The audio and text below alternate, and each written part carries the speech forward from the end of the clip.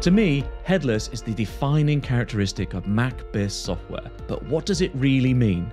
Now, I've talked a lot in the past about headless CMS and headless e commerce, and I'll leave you the links up here in the corner somewhere.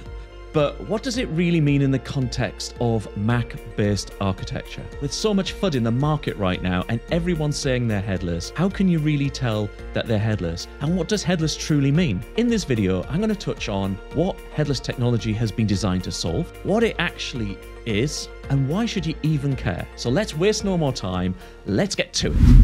To understand why we need headless technology, let's first look at some of the previous architectural patterns. The way we used to design applications in the past was that we used to separate them into tiers. And you could actually visualize these tiers with something like a layered cake. In the bottom tier, you would put your databases, your data repository. In the middle tier, this would be where the business logic would live and the application logic. And at the very top, you would have your presentation layer. And this would be where you design and implement your user experience. And this pattern was used in nearly every single monolithic system in the past, whether that was a CMS, an e commerce platform, a search engine, or even a recommendations engine. And the same pattern was used when you built a larger platform based on these technologies. In these systems, each component was mapped into the layers using code to glue them together. Components in one layer would have dependencies in components in other layers. For instance, a page in the presentation layer may be generated by a CMS would have to be represented in the data layer. And the business layer would basically translate what a page is and what it means and how it could be used by the presentation layer. Although layers are really useful to help you understand a system at a logical level, in reality, those layers are fused together. And ultimately, this is how we organize what we know today as the monolith. One of the downsides of this approach is that to implement the presentation layer, you'd have to use a specific set of technology.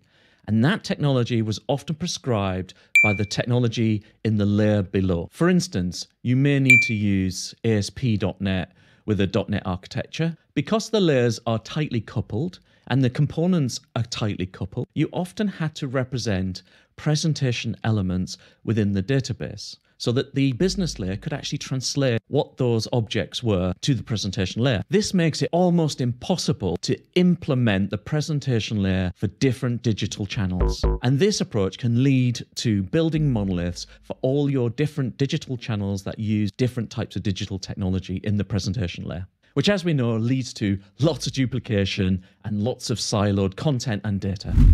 So, how does headless technology address this? Well, first of all, we remove the presentation layer. In other words, we remove the head. This means that you do not need to implement any type of user experience. It means you do not need to implement an SDK or any other front end technology components for the technology to actually work. And to do this, headless systems replace the presentation layer with an API layer.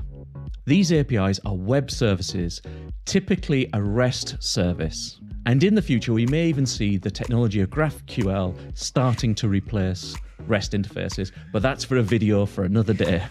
As these APIs are web services, there is no tight coupling between components or any dependencies on what the front end technology has to be. It can be an iOS native app, it could be an Android app, it could be web technology and using any of the new frameworks like React or Vue or even Svelte. And it doesn't have to stop there. You can implement voice interfaces or interfaces into IoT devices.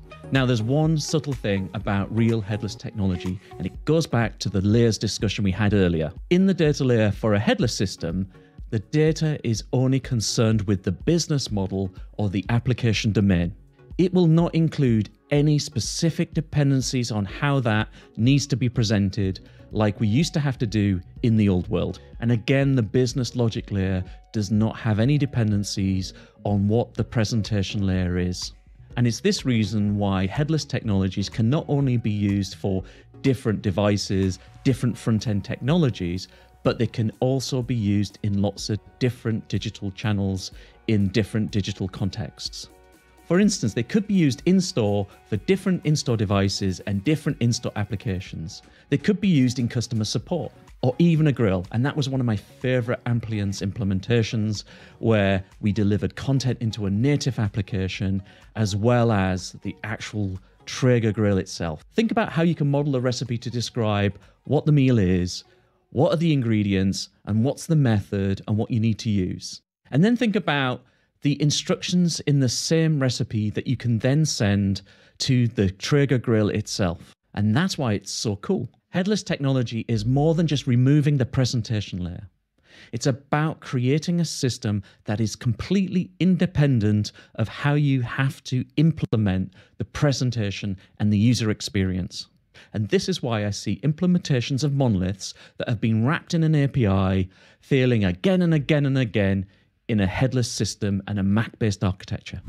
Digital channels are now the primary channels for businesses. It has never been so important to deliver great experiences at every digital touchpoint wherever your customer is. And that's why headless technology is so important today. Headless is critical to deliver consistent, omni channel, and multi channel experiences. Headless technology finally gives that opportunity for businesses to be more agile and more nimble when it comes to creating content and creating digital experiences. You can now create platform agnostic content, create it once, and deliver it everywhere. Deliver it into every single channel you have by separating the layers and pulling out the presentation layer away from the business logic, away from your content, and away from your data means you can innovate far more quickly in the digital experience.